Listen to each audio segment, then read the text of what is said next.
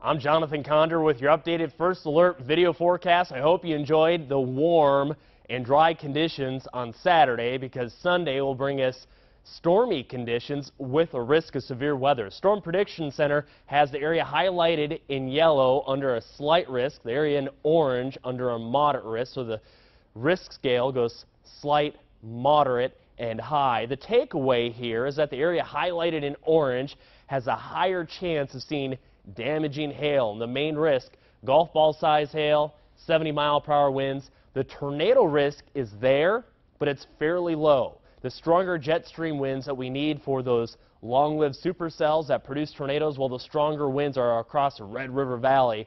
So it's all about the timing of the dry line. If we see discrete cells fire on the dry line south of Oklahoma City, that's the area that we could see an isolated tornado. But again, that tornado risk is fairly low. The main concern on Sunday would be damaging hail the size of a golf ball. Central Oklahoma, this is Oklahoma City storm impact, mainly hail and winds. Again, winds 70 miles an hour, golf ball size hail.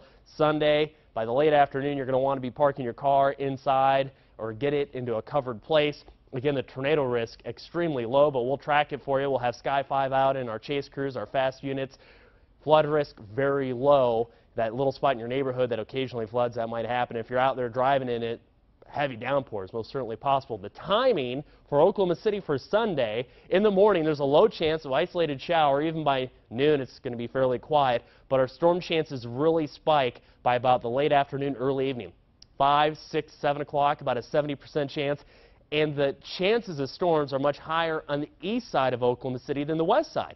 Choctaw, you have a better chance of rain than, let's say, Piedmont, Yukon, or El Reno. That's how close it's going to be. You live over on the west side of the metro. You could just see those big billowing storm clouds just off to your east. Let's talk about Sunday morning. Pretty cloudy, low chance of rain I-35 east.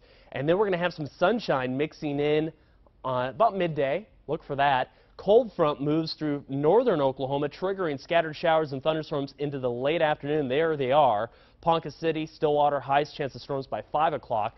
That cold front expected to fill in. Predictor a little anemic on the storms here, uh, not very aggressive, but we're expecting th that line to fill in. You can see the cold front, the line of storms from McAlester to Ardmore by about 10 o'clock. Now watch what happens Sunday night through Monday morning. Did you see that? Some blue. Northwestern Oklahoma has a chance that a few flurries will mix in. No accumulating snow, but so cold to, make to, to make some winter mixed precipitation. And then pretty cloudy on Monday. We get into Monday late in the day and the clouds will thin on out. So let's step back here. Storm chances Saturday evening, western Oklahoma. Isolated storms may fire off the dry line. It's only a 20% chance.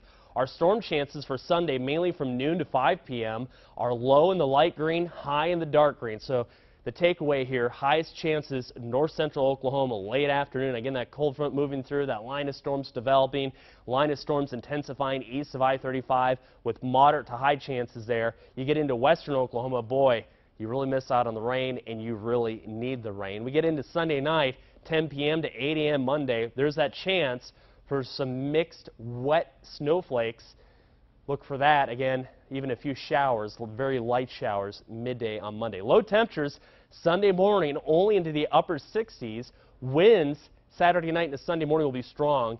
Out of the south, 20 to 30. They may gust up to 40 miles an hour. Highs on Sunday ranging from the 90s in the southwest, lower 80s in the metro, 70s up north. Cold front hits. Winds go from south to north and temperatures will tumble.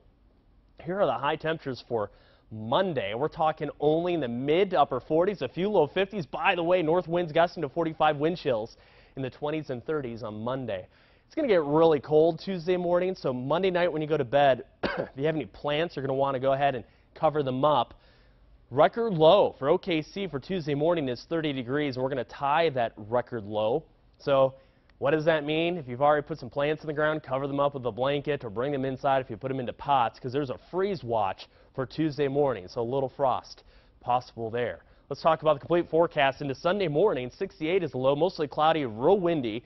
Now, we'll have some clouds Sunday morning, low chance of rain, but throughout the day, like lunchtime, mostly sunny. South winds, storms move in late in the day at 5 o'clock, scattered thunderstorms. That's when we're expecting them. Chance of storms, 70% chance, 30% chance of some rain showers Monday afternoon, a high of only 48. Tuesday morning, the coldest of the cold, low 30 degrees, 63 for Tuesday afternoon. There's a chance of rain on Thursday, but it looks like it's only a 20% chance. And temperatures get back into the 70s as we go into next weekend. And you're up to date with the latest First Alert forecast.